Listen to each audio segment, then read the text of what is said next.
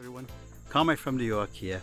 Today's class number 389 is all about the video camera called DJI Osmo Pocket. It's about five years old and I'm going to show you now the rig I'm using right now to film this episode.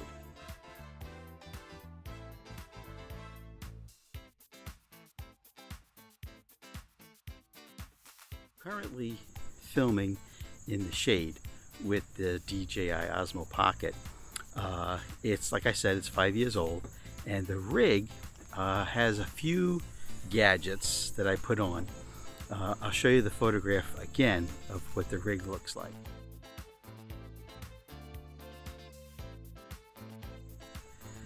So as you can see from the top, it has the Comica shotgun mic with a dead cat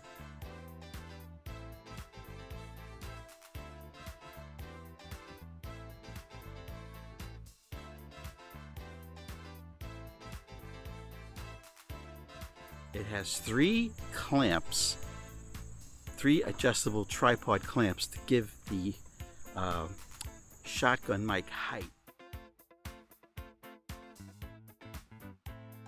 Because as you can see, if I go too far this way, the shotgun mic actually might get into the frame.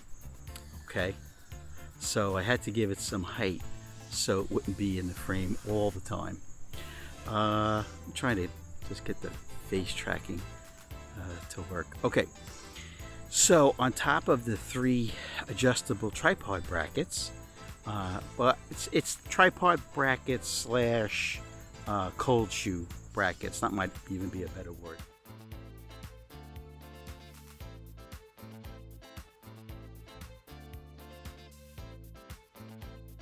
I had to pay for all this stuff. There's no sponsor for this one. Uh, next below that is the Movo DJI Pocket clamp that holds the DJI Pocket and a cell phone if you want.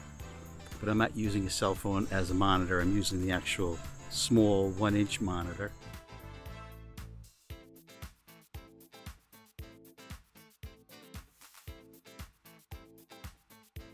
Um, then the cable I have from the Comica microphone, shotgun mic, you have to go from TRRS jack to TRS jack. Right, that. Three milli, 3.5 millimeter jack that has three rings, and then you have to go to two rings. Okay, so I have that going into the DJI uh, audio jack adapter.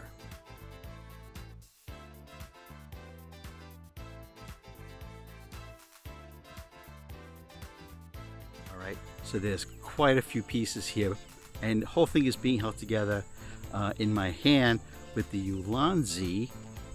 It's a selfie stick with a small tripod foot.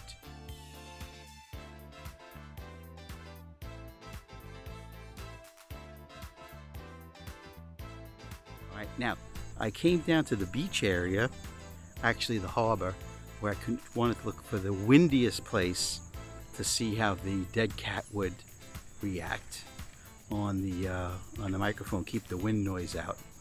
All right, so now let's walk into the sun and see uh, if the ex automatic exposure can uh, keep up with the uh, bright sun today.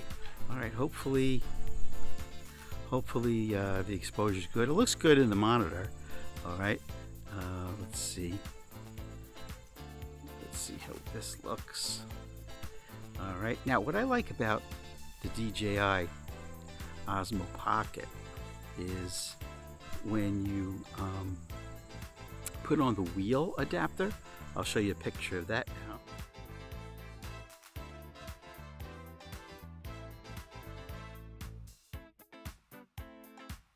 Press one button and the camera will flip to show uh, what's in front of me.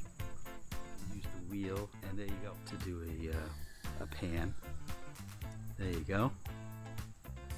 All right, so the DJ, while it is uh, five years old, they can they can still be had for a hundred bucks uh, in working condition with the built-in battery.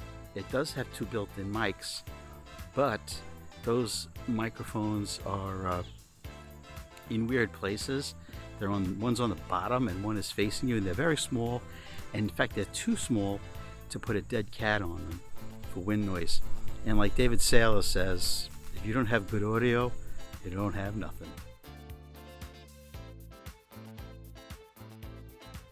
Uh, so let's just see.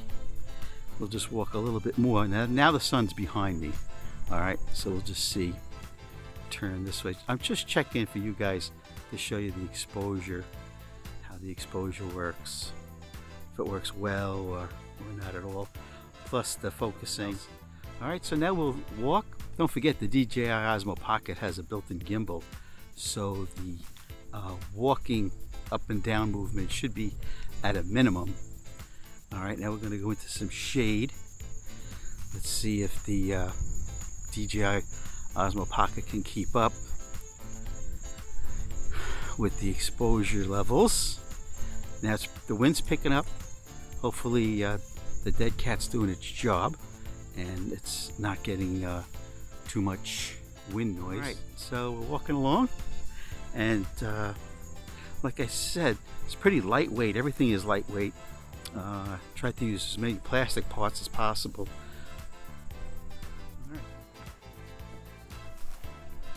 All right, guys, so that's been today's class number 389. It's all about the digital video camera DJI Pocket Osmo. It's the number one, it's the classic. Uh, like I said, you can pick them up used for a hundred bucks.